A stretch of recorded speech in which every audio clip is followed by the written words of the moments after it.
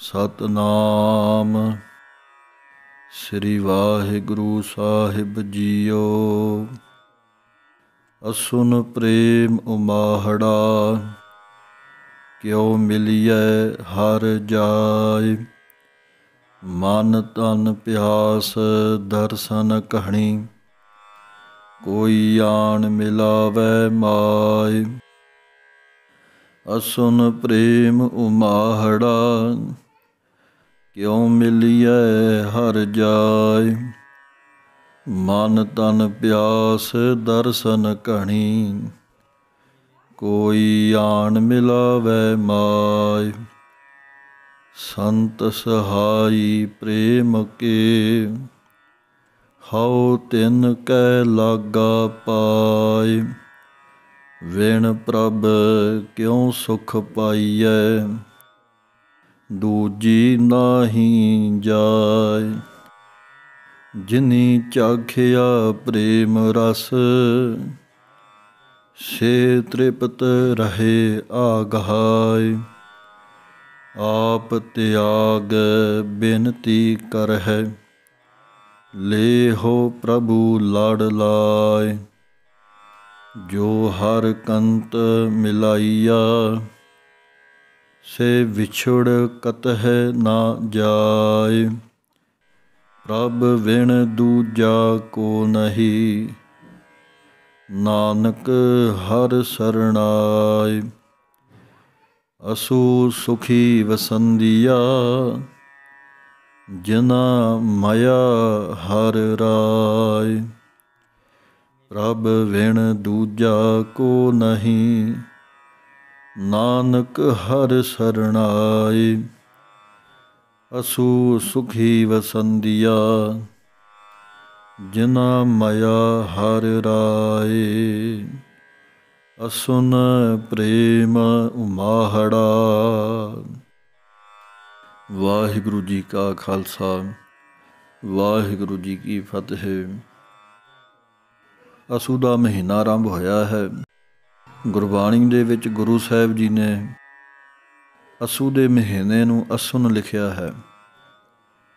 ਭਾਵ ਸਰਦੀ ਰੁੱਤ ਦਾ ਪਹਿਲਾ ਮਹੀਨਾ ਆਰੰਭ ਹੋਇਆ ਹੈ। ਇਸ ਮਹੀਨੇ ਦੇ ਵਿੱਚ ਠੰਡੀਆਂ ਹਵਾਵਾਂ ਸ਼ੁਰੂ ਹੁੰਦੀਆਂ ਹਨ। ਠੰਡੇ ਮੌਸਮ ਦੀ ਆਗਾਜ਼ ਹੁੰਦੀ ਹੈ। ਇਸੇ ਤਰ੍ਹਾਂ ਭਾਵ ਕਿ ਭਗਤੀ ਕਰਨ ਲਈ ਬਾਣੀ ਪੜਨ ਵਾਸਤੇ ਨਾਮ ਜਪਣ ਵਾਲਿਆਂ ਦੇ ਲਈ ਇਹ ਮਹੀਨਾ ਬਹੁਤ ਹੀ ਲਾਹੇਵੰਦ ਹੈ। ਨਾ ਤਾਂ ਬਹੁਤੀ ਸਰਦੀ ਹੈ ਤੇ ਨਾ ਬਹੁਤੀ ਗਰਮੀ ਮਹਿਸੂਸ ਹੁੰਦੀ ਹੈ। ਸੋ ਅਸਣ ਦੇ ਮਹੀਨੇ ਦੇ ਰਾਹੀਂ ਜੋ ਉਪਦੇਸ਼ ਬਖਸ਼ਿਸ਼ ਕਰਦੇ ਹਨ, ਪਹਿਲੀ ਪੰਕਤੀ ਦੇ ਵਿੱਚ ਉਸ ਗੁਰਮੁਖ ਦੀ, ਉਸ ਪ੍ਰੇਮੀ ਦੀ ਇੱਕ ਅੰਦਰ ਦੀ ਭਾਵਨਾ ਨੂੰ, ਤੀਬਰ ਇੱਛਾ ਨੂੰ ਗੁਰੂ ਸਾਹਿਬ ਜੀ ਨੇ ਪ੍ਰਗਟ ਕਰਕੇ ਦੱਸਿਆ ਹੈ। ਕਿ ਕਿਵੇਂ ਉਹਦੇ ਅੰਦਰ ਵਾਹਿਗੁਰੂ ਨੂੰ ਮਿਲਣ ਦੀ ਤਾਂਗ ਹੈ ਅਤੇ ਕੀ ਹਾਲਾਤ ਹੋਏ ਪਏ ਹਨ ਮਨ ਦੇ ਉਸ ਵਾਹਿਗੁਰੂ ਦੇ ਦਰਸ਼ਨਾਂ ਦੇ ਲਈ।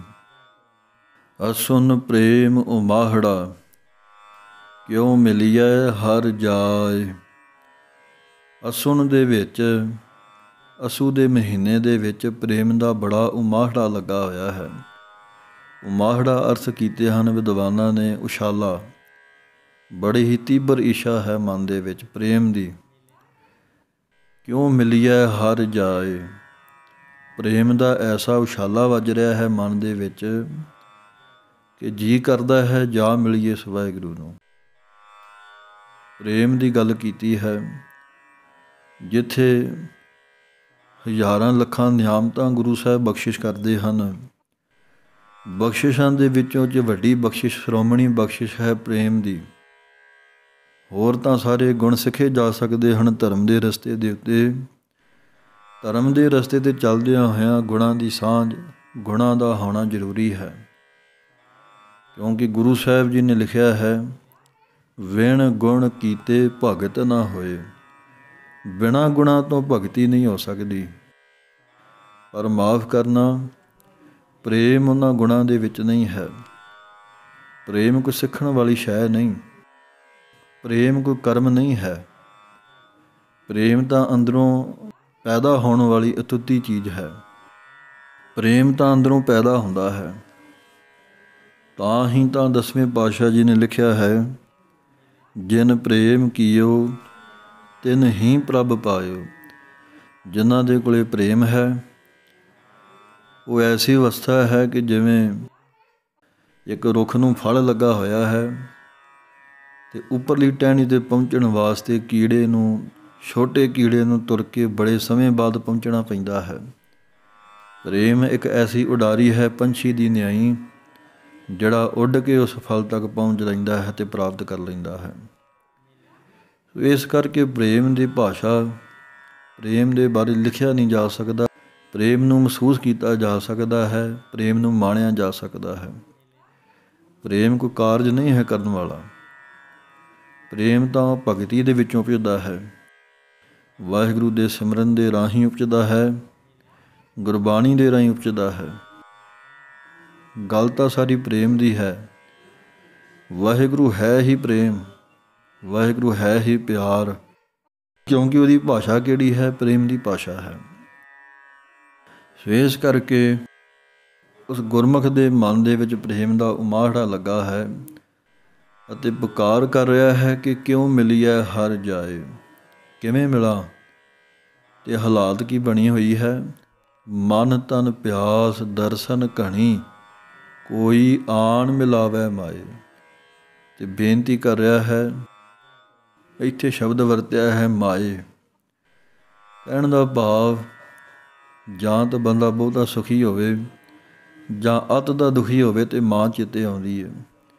ਇੱਥੇ ਖੁਸ਼ੀ ਦਾ ਵਾਚਕ ਹੈ। ਮੇਰੇ ਅੰਦਰ ਇੰਨੀ ਤਾਂਗ ਹੈ ਮਿਲਣ ਦੀ ਕਿ ਹੈ ਮੇਰੀ ਮਾਂ, ਕੋਈ ਆਣ ਕੇ ਮੈਨੂੰ ਵਾਹਿਗੁਰੂ ਦੇ ਦਰਸ਼ਨ ਕਰਾ ਦੇਵੇ। ਮੈਨੂੰ ਕੋਈ ਉਹਦੇ ਕੋਲ ਲੈ ਜਾਵੇ ਜਾਂ ਮੈਨੂੰ ਮਿਲਾ ਦੇਵੇ ਲਿਆ ਕੇ ਕੋਲ। ਕੋਈ ਹੈ ਐਸਾ? ਭਾਈ ਗੁਰਦਾਸ ਜੀ ਨੇ ਤਿੰਨ ਜੀਵਾਂ ਦੀਆਂ ਉਦਾਹਰਨਾਂ ਦਿੰਦਿਆਂ ਹੋਇਆਂ ਇਹ ਬਿਆਨ ਕੀਤਾ ਹੈ ਕਿ ਦਰਸ਼ਨ ਦੀ ਤਾਂਗ ਕਿੱਥੋਂ ਤੱਕ ਪਹੁੰਚਾ ਸਕਦੀ ਹੈ। ਅਤੇ ਅਖੀਰ ਦੇ ਵਿੱਚ ਸਵਾਲ ਕੀਤਾ ਹੈ ਕਿ ਉਹ ਤੀ ਪਰਿਸ਼ਾ ਸਾਡੇ ਵਿੱਚ ਕਿਉਂ ਨਹੀਂ ਜਿਹੜੀ ਉਹਨਾਂ ਜੀਵਾਂ ਦੇ ਵਿੱਚ ਹੈ ਇੱਕ ਦੂਜੇ ਦੇ ਪ੍ਰਤੀ। ਭਾਈ ਗੁਰਦਾਸ ਜੀ ਦੀ ਬਾਣੀ ਪੜ੍ਹਦਿਆਂ ਬਚਨ ਆਉਂਦੇ ਹਨ, ਦੀਪਕ ਪੈ ਆਵਤ ਪਤੰਗ ਪ੍ਰੀਤ ਰੀਤ ਲਗ। ਦੀਪ ਕਰ ਮਹਾ ਵਿਪਰੀਤ ਮਿਲੇ ਜਾਰ ਹੈ। ਕਹਿੰਦੇ ਨੇ ਕਿ ਦੀਵਾ ਹੈ। ਦੀਵਾ ਬਲ ਰਿਹਾ ਹੈ ਹਨੇਰੇ ਦੇ ਵਿੱਚ। ਤੇ ਦੀਵੇ ਨਾਲ ਪਿਆਰ ਕਰਨ ਵਾਲਾ, ਦੀਵੇ ਦੀ ਲਾਈਟ ਦੇ ਨਾਲ, ਰੌਸ਼ਨੀ ਦੇ ਨਾਲ ਪਿਆਰ ਕਰਨ ਵਾਲਾ ਉਹ ਪਤੰਗਾ। ਐਸਾ ਪਿਆਰ ਹੈ, ਜਦੋਂ ਬਲਦੇ ਨੂੰ ਵੇਖ ਲਵੇ, ਤਾਂ ਪੈਂਡੇ ਦੇ ਪੈਂਡੇ ਤਾਂ ਕਰਦਾ ਹੋਇਆ ਆ ਮਿਲਦਾ ਹੈ। ਪਰ ਕਹਿੰਦੇ ਨੇ, ਪਿਆਰ ਤੇ ਬਹੁਤ ਹੈ। ਦਰਸ਼ਨਾਂ ਦੀ ਤਾਂਗ ਬਹੁਤ ਹੈ। ਪਰ ਪਤੰਗੇ ਨੂੰ ਇਹ ਨਹੀਂ ਪਤਾ ਕਿ ਜਿਹਦੇ ਨਾਲ ਪਿਆਰ ਕਰ ਰਿਹਾ ਹਾਂ, ਉਹ ਮੇਰੀ ਮੌਤ ਹੈ। ਪਤੰਗਾ ਆਉਂਦਾ ਹੈ ਉੱਡ ਕੇ। ਇਰਦ ਗਿਰਦ ਘੁੰਮਦਾ ਹੈ ਉਸ ਦੀਵੇ ਦੀ ਲਾਟ ਦੇ ਤੇ ਜਦੋਂ ਉਹਨੂੰ ਛੋਣ ਦੀ ਕੋਸ਼ਿਸ਼ ਕਰਦਾ ਹੈ ਤੇ ਸੜ ਕੇ ਸੁਆਹ ਹੋ ਜਾਂਦਾ ਹੈ। ਫਿਰ ਭਾਈ ਗੁਰਦਾਸ ਜੀ ਲਿਖਦੇ ਨੇ, ਦੀਪ ਕਰ ਮਹਾ ਵਿਪਰੀਤ ਮਿਲੇ ਜਾ ਹੈ। ਵਿਪਰੀਤ ਹੋ ਕੇ ਮਿਲਦਾ ਹੈ, ਵਿਰੋਧੀ ਹੋ ਕੇ ਮਿਲਦਾ ਹੈ। ਤੇ ਕੀ ਪਤੰਗਿਆਂ ਨੇ ਫੈਸਲਾ ਕਰ ਲਿਆ ਹੈ ਕਿ ਦੀਵੇ ਦੀ ਲਾੜ ਸਾਨੂੰ ਸਾੜ ਦਿੰਦੀ ਹੈ ਤੇ ਹੁਣ ਅਸੀਂ ਦੀਵੇ ਦੇ ਕੋਲ ਨਹੀਂ ਜਾਣਾ। ਉਸ ਰੋਸ਼ਨੀ ਦੇ ਕੋਲ ਨਹੀਂ ਜਾਣਾ। ਦੂਸਰੀ ਉਦਾਹਰਨ ਦਿੰਦਿਆਂ ਹੋਇਆਂ ਪ੍ਰੇਮ ਤੇ ਦਰਸ਼ਨਾਂ ਦੀ ਬਿਆਨ ਕਰਦੇ ਹਨ। ਅਲ ਚਲ ਆਵਤ ਕਮਲ ਪੈ ਸਨੇਹ ਕਰ। ਕਮਲ ਸੰਪਟ ਬਾਂਧ ਪ੍ਰਾਨ ਪਰ ਹਾਰ ਹੈ। ਕਹਿੰਦੇ ਨੇ ਆਉਂਦਾ ਹੈ ਚੱਲ ਕੇ। ਕਮਲ ਦੇ ਫੁੱਲ ਦੇ ਉੱਤੇ ਬਹਿਣ ਦੀ ਕੋਸ਼ਿਸ਼ ਕਰਦਾ ਹੈ। ਕਮਲ ਦੇ ਫੁੱਲ ਦੇ ਨਾਲ ਪਿਆਰ ਹੈ ਭੌਰੇ ਦਾ। ਤੇ ਕਮਲ ਦੇ ਉੱਤੇ ਬਹਿ ਕੇ ਰਸ ਚੂਸਣ ਦੀ ਕੋਸ਼ਿਸ਼ ਕਰਦਾ ਹੈ। ਦੂਰੋਂ ਚੱਲ ਕੇ ਆਉਂਦਾ ਹੈ, ਕਮਲ ਦੇ ਫੁੱਲ ਦੇ ਉੱਤੇ ਸਨੇਹ ਕਰਕੇ ਬੈਠਦਾ ਹੈ ਤੇ ਕਮਲ ਦੇ ਫੁੱਲ ਦਾ ਸੁਭਾਅ ਹੈ ਕਿ ਸੂਰਜ ਚੜ੍ਹਦਿਆਂ ਹੀ ਪੰਖੜੀਆਂ ਖੁੱਲਦੀਆਂ ਨੇ ਤੇ ਸੂਰਜ ਡੁੱਬਦਿਆਂ ਹੀ ਮੇਟਣਾ ਸ਼ੁਰੂ ਹੋ ਜਾਂਦਾ ਹੈ। ਉਹ ਬੈਠੇ ਹੋਏ ਮਸਤ ਭਵਰੇ ਨੂੰ ਚੇਤਾ ਭੁੱਲ ਗਿਆ ਕਿ ਇਹ ਮੇਰੀ ਮੌਤ ਦਾ ਕਾਰਨ ਬਣ ਜਾਵੇਗਾ। ਬੈਠਾ ਰਿਹਾ ਸਾਰਾ ਦਿਨ ਤੇ ਅਖੀਰ ਨੂੰ ਜਦੋਂ ਸੂਰਜ ਡੁੱਬਿਆ, ਤਾਂ ਵਿੱਚੇ ਹੀ ਆਪਣੀਆਂ ਪੰਖੜੀਆਂ ਦੇ ਕਮਲ ਦੇ ਫੁੱਲ ਨੇ ਮੀਟ ਲਿਆ ਤੇ ਮੌਤ ਹੋ ਗਈ। ਫਿਰ ਸਵਾਲ ਕਰਦੇ ਹਨ ਕਿ ਕੀ ਭੌਰਿਆਂ ਨੇ ਫੈਸਲਾ ਕਰ ਲਿਆ ਹੈ ਕਿ ਕਮਲ ਦੇ ਨਾਲ ਇੰਨਾ ਪ੍ਰੇਮ ਕਰਦੇ ਹਾਂ, ਦੂਰੋਂ ਚੱਲ ਕੇ ਆਉਂਦੇ ਆ ਇਹ ਸਾਨੂੰ ਮਾਰ ਦਿੰਦੇ ਨੇ। ਇਹ ਸਾਡੀ ਮੌਤ ਦਾ ਕਾਰਨ ਬਣਦੇ ਨੇ। ਇਹ ਪ੍ਰੇਮ ਦੀ ਪਰਿਭਾਸ਼ਾ ਦੇ ਰਹੇ ਨੇ। ਇੱਕ ਤੀਸਰੀ ਉਦਾਹਰਨ ਦਿੰਦਿਆਂ ਹੋਇਆਂ ਮੱਛੀ ਦੀ ਭਾਈ ਗੁਰਦਾਸ ਜੀ ਦੱਸਦੇ ਨੇ, ਮਨ ਬਚ ਕ੍ਰਮ, ਜਲ ਮੀਨ ਲਿਵ ਲੀਨ ਗਤ, ਬਿਸ਼ਰਤ ਰਾਖ ਨਾ ਸਕਤ, ਗਹਿ ਡਾਰ ਹੈ। ਮੱਛੀ ਦਾ ਪਾਣੀ ਨਾਲ ਬਹੁਤ ਪਿਆਰ ਹੈ। ਬਾਣੀ ਵਿੱਚ ਅਨੇਕਾਂ ਉਦਾਹਰਨਾਂ ਹਨ ਪਾਣੀ ਅਤੇ ਮੱਛੀ ਦੀਆਂ। ਇੱਥੋਂ ਤੱਕ ਮੱਛੀ ਪਾਣੀ ਵਿੱਚ ਜੰਮਦੀ ਹੈ। ਵੱਡੀ ਹੁੰਦੀ ਹੈ, ਖੇਡਦੀ ਹੈ, ਉੱਥੇ ਖਾਂਦੀ ਪੀਂਦੀ, ਉਹਦਾ ਜੀਵਨ ਹੀ ਪਾਣੀ ਹੈ। ਭਾਈ ਗੁਰਦਾਸ ਜੀ ਨੇ ਪ੍ਰੇਮ ਨੂੰ ਬਿਆਨ ਕਰਦਿਆਂ ਹੋਇਆਂ ਮੱਛੀ ਦੀ ਉਦਾਹਰਨ ਦਿੰਦਿਆਂ ਸਮਝਾਇਆ ਹੈ ਕਿ ਜੀਵ ਮੱਛੀ ਪਾਣੀ ਨੂੰ ਇੰਨੀ ਸਮਰਪਿਤ ਹੈ, ਮਨ ਕਰਕੇ, ਬਚਨਾ ਕਰਕੇ ਤੇ ਕਰਮਾ ਕਰਕੇ ਰਹਿ ਨਹੀਂ ਸਕਦੀ। ਪਰ ਜਦੋਂ ਕੋਈ ਜਾਲ ਪਾ ਕੇ ਮੱਛੀ ਨੂੰ ਫੜਨ ਵਾਸਤੇ ਆਉਂਦਾ ਹੈ ਤੇ ਸੁੱਟਦਾ ਹੈ, ਪਾਣੀ ਦੇ ਉੱਤੇ ਮੱਛੀ ਨੂੰ ਪਕੜਨ ਦੇ ਲਈ, ਤੇ ਕੀ ਕਦੇ ਪਾਣੀ ਨੇ ਮੱਛੀ ਨੂੰ ਬਚਾਇਆ ਹੈ। ਸਗੋਂ ਇੱਥੋਂ ਤੱਕ ਕਿ ਸਗੋਂ ਪਾਣੀ ਉਸ ਫਸਾਉਣ ਵਾਲੇ ਜਾਲ ਨੂੰ ਆਪਣੇ ਉੱਤੇ ਸਰਨ ਦਿੰਦਾ ਹੈ ਤੇ ਮੱਛੀ ਨੂੰ ਫੜਾਉਣ ਦਾ ਕਾਰਨ ਬਣਦਾ ਹੈ। ਤੇ ਕੀ ਮੱਛੀਆਂ ਨੇ ਫੈਸਲਾ ਕਰ ਲਿਆ ਹੈ ਕਿ ਮੱਛੀ ਪਾਣੀ ਨਾਲ ਇੰਨਾ ਪਿਆਰ ਕਰੇ ਤੇ ਪਾਣੀ ਕੋਈ ਉਹਦੀ ਮਦਦ ਨਾ ਕਰੇ? ਬਿਸ਼ਰਤ ਰਾਖ ਨਾ ਸਕਤ, ਗਹਿ ਡਾਰ ਹੈ। ਵਿਛੜਦੀ ਹੋਈ ਨੂੰ ਰੱਖ ਨਹੀਂ ਸਕਦਾ ਪਾਣੀ।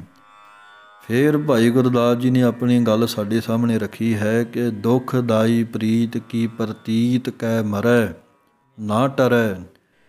ਇੰਨੀ ਦੁਖਦਾਈ ਪ੍ਰੀਤ ਹੈ ਤਨਾਂ ਦੀ। ਮਸ਼ੀ ਹਟਦੀ ਨਹੀਂ, ਭੌਰਾ ਮੁੜਦਾ ਨਹੀਂ। ਤੇ ਪਤੰਗਾ ਕਦੇ ਇਹ ਫੈਸਲਾ ਨਹੀਂ ਕੀਤਾ ਕਿ ਮੈਂ ਹੁਣ ਦੀਵੇ ਦੀ ਲਾਟ ਦੇ ਲਾਗੇ ਨਹੀਂ ਜਾਣਾ। ਫਿਰ ਵੀ ਇੰਨੀ ਦੁਖਦਾਈ ਪਿਆਰ ਦੇ ਹੋਣ ਦੇ ਬਾਵਜੂਦ ਵੀ ਅੱਜ ਤੱਕ ਜਾ ਰਹੇ ਨੇ। ਤੇ ਪਿਆਰ ਕਰਦੇ ਨੇ ਤੇ ਫਿਰ ਸਾਨੂੰ ਸਵਾਲ ਕਰਦੇ ਨੇ ਕਿ ਗੁਰਸਿੱਖ, ਸੁਖਦਾਈ ਪ੍ਰੀਤ ਕਿਉਂ ਵਿਸਾਰ ਹੈ? ਫਿਰ ਸਾਨੂੰ ਸਵਾਲ ਕਰਦੇ ਹਨ ਕਿ ਤੁਹਾਡਾ ਗੁਰੂ ਤੇ ਤੁਹਾਨੂੰ ਬਹੁਤ ਪਿਆਰ ਕਰਦਾ ਹੈ। ਫਿਰ ਤੁਸੀਂ ਗੁਰੂ ਨਾਲ ਕਿਉਂ ਨਹੀਂ ਇਹੋ ਜਿਹਾ ਪਿਆਰ ਕਰਦੇ? ਗੁਰੂ ਦਾ ਪਿਆਰ ਤੇ ਸੁਖਦਾਈ ਹੈ। ਗੁਰੂ ਤੇ ਬੇਵਫਾਈ ਨਹੀਂ ਕਰਦਾ। ਗੁਰੂ ਤੇ ਨਹੀਂ ਦੁੱਖ ਦਿੰਦਾ। ਫਿਰ ਤੁਸੀਂ ਕਿਉਂ ਨਹੀਂ ਉਹ ਜਿਹਾ ਪਿਆਰ ਕਰਦੇ? ਫਿਰ ਤੁਸੀਂ ਕਿਉਂ ਗੁਰੂ ਨੂੰ ਵਿਸਾਰਿਆ ਹੈ? ਸੋ ਇਹ ਉਦਾਹਰਨ ਦਿੰਦਿਆਂ ਹੋਇਆਂ ਭਾਈ ਗੁਰਦਾਸ ਜੀ ਨੇ ਸਮਝਾਇਆ ਹੈ ਕਿ ਪ੍ਰੇਮ ਕਰਨਾ ਹੈ ਤਾਂ ਇਹੋ ਜਿਹਾ ਕਰੋ। ਇਹੋ ਜੇ ਪ੍ਰੇਮ ਦੀ ਹੀ ਪਰਿਭਾਸ਼ਾ ਅੱਜ ਗੁਰੂ ਅਰਜਨ ਦੇ ਮਹਾਰਾਜ ਦੇ ਰਹੇ ਹਨ ਕਿ ਅਸਨ ਪ੍ਰੇਮ ਉਮਾਹੜਾ, ਕਿਉ ਮਿਲਿਐ ਹਰ ਜਾਏ? ਕਿਵੇਂ ਮਿਲਾਂ? ਮੇਰੇ ਮਨ ਦੇ ਵਿੱਚ ਪਿਆਸ ਹੈ ਦਰਸ਼ਨਾਂ ਦੀ। ਕੋਈ ਆਣ ਮਿਲਾਵੇ ਬਾਏ। ਕੋਈ ਹਰ ਸਿਉ ਦੇਵੈ ਜੋਰ। ਚਰਨ ਗਾਹੋਂ ਬਕਉ ਸੁਭ ਰਸਨਾ, ਦੀਜਹਿ ਪ੍ਰਾਨ ਅਕੋਰ। ਕੋਈ ਮਿਲਾ ਦੇਵੇ ਵਾਹਿਗੁਰੂ ਦੇ ਨਾਲ, ਕੋਈ ਆਣ ਮਿਲਾਵੇ ਮੇਰਾ ਪ੍ਰੀਤਮ ਪਿਆਰਾ। ਹਉ ਤਿਸ ਪਹਿ ਆਪ ਵੇਚਾਈ, ਦਰਸ਼ਨ ਹਰ ਦੇਖਣ ਕਹਿ ਤਾਈ। ਕੋਈ ਤੇ ਆਵੇ ਮਿਲਾ ਦੇਵੇ ਉਸ ਵਾਹਿਗੁਰੂ ਦੇ ਨਾਲ।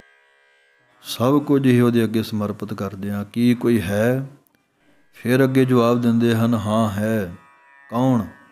ਸੰਤ ਸਹਾਈ ਪ੍ਰੇਮ ਕੇ ਹਉ ਤਿਨ ਕੈ ਲਾਗਾ ਪਾਏ। ਵਾਹਿਗੁਰੂ ਦੇ ਸੰਤ ਮਹਾਪੁਰਖ ਬ੍ਰਹਮ ਗਿਆਨੀ, ਉਹ ਸਹਾਈ ਹਨ। ਉਹ ਪ੍ਰੇਮ ਨੂੰ ਵਧਾਉਣ ਵਾਲੇ ਹਨ। ਉਹ ਹੀ ਮਿਲਾ ਸਕਦੇ ਹਨ, ਉਹਨਾਂ ਦੇ ਪੈਰੀਂ ਪੈ। ਉਹਨਾਂ ਦੇ ਚਰਨੀ ਲੱਗ। ਇੱਥੇ ਇੱਕ ਵਚਨ ਦੀ ਗੱਲ ਨਹੀਂ ਕੀਤੀ। ਇਹ ਨਹੀਂ ਆਖਿਆ ਕਿ ਸੰਤ ਸਹਾਈ ਪ੍ਰੇਮ ਕਾ। ਇੱਥੇ ਲਿਖਿਆ ਹੈ ਕਿ ਬਹੁ ਵਚਨ ਕੋਈ ਗੁਰਮੁਖ ਮਿਲੇ ਸਹੀ, ਪਰ ਅੱਜ ਅਸਲੀਅਤ ਨੂੰ ਲੱਭਦਿਆਂ ਲੱਭਦਿਆਂ ਝੂਠ ਦਾ ਬੁਲਬਾਲਾ ਹੈ। ਸੰਤਾਂ ਦਾ ਮਿਲਾਪ, ਗੁਰਮੁਖਾਂ ਦਾ ਮਿਲਾਪ ਬਿਨਾ ਕਰਮਾਂ ਤੋਂ ਭਾਗਾਂ ਤੋਂ ਨਹੀਂ ਹੈ।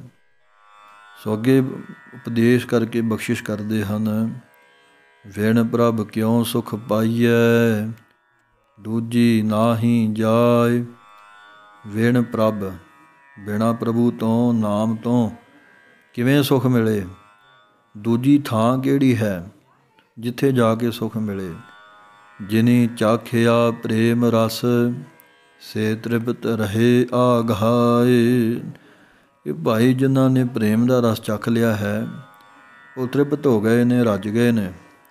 ਉਹਨਾਂ ਦੀਆਂ ਸਾਰੀਆਂ ਵਾਸ਼ਨਾਵਾਂ ਮਿਟ ਜਾਂਦੀਆਂ ਹਨ, ਸਾਰੀਆਂ ਭੁੱਖਾਂ ਮਿਟ ਜਾਂਦੀਆਂ ਹਨ। ਸਾਚ ਨਾਮ ਆਧਾਰ ਮੇਰਾ, ਜਿਨ ਭੁੱਖਾ ਸਭ ਗਵਾਈਆ, ਸਾਰੀਆਂ ਤ੍ਰਿਸ਼ਨਾ ਮਿਟ ਜਾਂਦੀਆਂ ਹਨ।